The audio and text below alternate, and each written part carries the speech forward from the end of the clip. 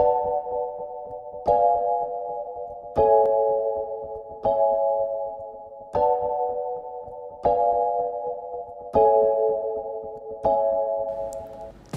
บโอฮาสาสปิลคิดคือ ชุดอุปกรณ์ที่จัดไว้สำหรับทำความสะอาดสารชีวภาพรั่วไหล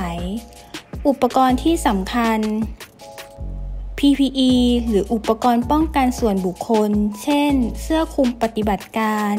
ถุงมือชนิดใช้ครั้งเดียวสองคู่ หมวกคุมผม แว่นตานิรภัย หน้ากากอนามัย ถุงหุ้มรองเท้า คู่มือวิธีปฏิบัติงาน วัสดุดูดซับเพื่อป้องกันการแพร่กระจาย เช่น ทิชชู่แบบหนา น้ำยาฆ่าเชื้อที่เป็นไดซินเฟกแตนคือผงโพสคิเซลชนิดซอง 5 กรัมน้ำสะอาด 250 มิลลิลิตร สำหรับละลายผงโพสคิซอล น้ำยาฆ่าเชื้อที่เป็น antiseptic คือ 70%แอลกอฮอล์ ขวดสเปรย์สำหรับใส่น้ำยาฆ่าเชื้อ 1 ขวด อุปกรณ์สำหรับเก็บ เช่น ที่คีบสแตนเลส 2 ขนาด ที่โกยผง ถุงพลาสติกใสและหนังยาง ถุงขยะติดเชื้อและเชือก กระป๋องทึบสำหรับทิ้งเศษแก้ว ป้ายเตือนพื้นที่อันตราย 2 ชุด แบบฟอร์มรายงานการเกิดอุบัติเหตุและเหตุฉุกเฉิน ตารางตรวจเช็คความพร้อมของชุดสปิลคิด วิธีปฏิบัติเมื่อสารชีวภาพหกหล่นล่วไหลในสถานปฏิบัติการ 1. แจ้งผู้ที่อยู่ใกล้บริเวณที่มีสารชีวภาพหกหล่นให้ทราบ และให้ออกนอกพื้นที่และปิดกั้นอย่างน้อย 30 นาที โดยแสดงป้ายเตือนแล้วแจ้งหัวหน้างาน และติดต่อเจ้าหน้าที่ความปลอดภัยทางชีวภาพ เพื่อขอคำแนะนำกรณีจำเป็น 2. สวมใส่ PPE ตามลำดับ เสื้อคลุมปฏิบัติการหัวกคลุมผม หน้ากากอนามัย แว่นตานิรภัย หน้ากากป้องกันใบหน้า ถุงหุ้มรองเท้า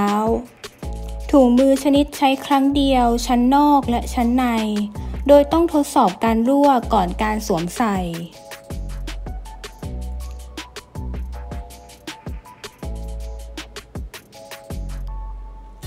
หากมีเศษแก้วแตก ให้ใช้ที่คีบ คีบเศษแก้วใส่กระป๋องทึบและปิดฝาให้สนิท แล้วทิ้งลงในถุงขยะติดเชื้อ หากมีเศษแก้วแตกเป็นชิ้นเล็ก ให้ใช้ที่โกยผง โกยใส่ในถุงขยะติดเชื้อ ใช้วัสดุดูดซับวางคุมบริเวณที่สารชีวภาพหกหล่น โดยวางจากด้านนอกเข้าสู่ด้านใน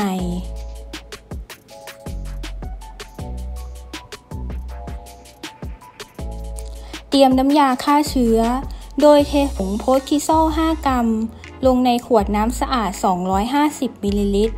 และเขย่าให้ละลายจนหมด จะได้สารละลายสีส้มใส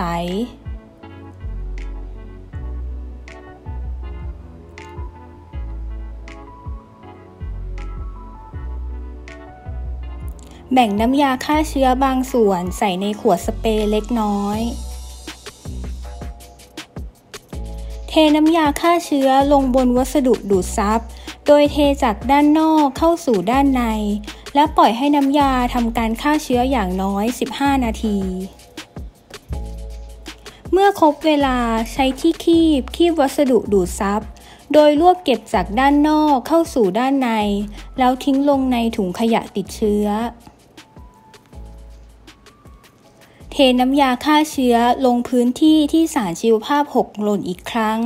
และใช้วัสดุดูดซับเช็ดให้ทั่ว แล้วทิ้งลงในถุงขยะติดเชื้อ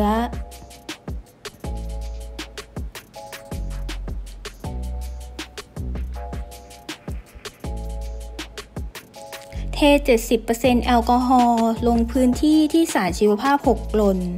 และใช้วัสดุดูดซับเช็ดให้ทั่ว แล้วทิ้งลงในถุงขยะติดเชื้อ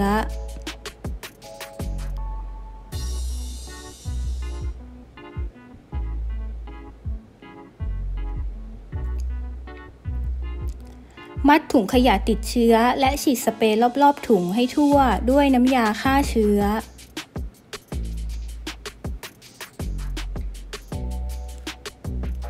นำที่คีบสแตนเลสใส่ถุงพลาสติกใสแล้วรัดให้แน่น นำใส่ถุงขยะติดเชื้อไปนึ่งฆ่าเชื้อด้วยเครื่อง autoclave นำที่โกยผงไปแช่น้ำยาฆ่าเชื้ออย่างน้อย 30 นาที แล้วนำกลับมาใช้ได้ใหม่ ถอดอุปกรณ์ป้องกันส่วนบุคคลตามลำดับ แล้วทิ้งลงในถุงขยะติดเชื้อ ดังนี้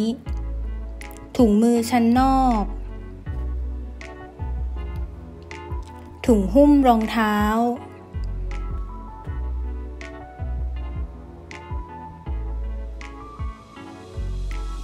หมวกคุมผม แว่นตานิรภัย หน้ากากอนามัย เสื้อคลุมปฏิบัติการ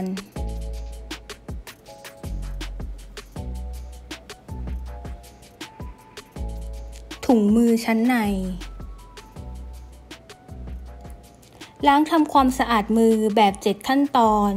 เขียนรายงานอุบัติการลงในแบบฟอร์มรายงานการเกิดอุบัติเหตุและเหตุฉุกเฉิน เปลี่ยนหรือเติมอุปกรณ์อยู่ที่อยู่ในชุดสปิลคิดให้พร้อมใช้งานในครั้งต่อไป วิธีปฏิบัติเมื่อสารชีวภาพหกหล่นรั่วไหล ในตู้ชีวนิรภัย หากกรณีมีการปนเปื้อนเชื้อ ให้ถอดถุงมือทิ้งไว้ภายในตู้ โดยห้ามปิดสวิตตู้อย่างน้อย 30 นาที สวมอุปกรณ์ป้องกันส่วนบุคคลตามลำดับ หากมีเศษแก้วแตก ให้ใช้ที่คีบ คีบเศษแก้วใส่กระป๋องทึบ และปิดให้สนิท ใช้วัสดุดูดซับปิดทับบริเวณที่มีสารชีวภาพหกหล่นโดยวางจากด้านนอกเข้าสู่ด้านใน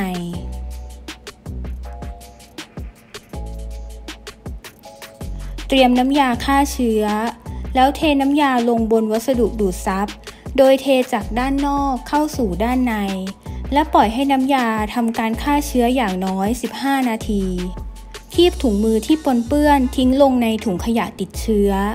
เมื่อครบเวลาใช้ที่คีบคีบวัสดุดูดซับ โดยรวบเก็บจากด้านนอกเข้าสู่ด้านใน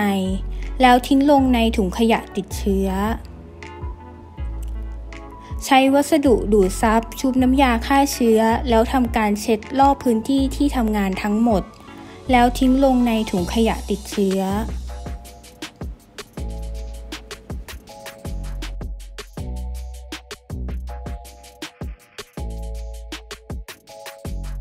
นำกระป๋องทึบที่ใส่เศษแก้วแตกใส่ถุงขยะติดเชื้อ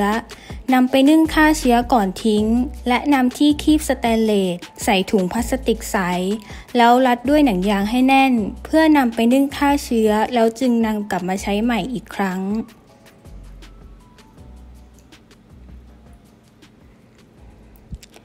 หลังจากเช็ดพื้นผิวสะอาดแล้ว ให้ตู้ทำงานต่อไปอีกประมาณ 10 นาที ก่อนที่จะใช้งานอื่นต่อไป หรือปิดเครื่อง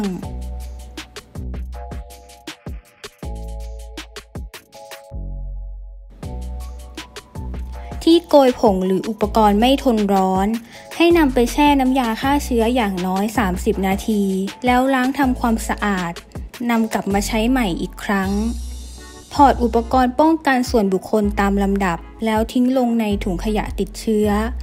แล้วล้างทำความสะอาดมือแบบ 7 ขั้นตอน เขียนรายงานอุบัติการลงในแบบฟอร์มรายงานการเกิดอุบัติเหตุและเหตุฉุกเฉิน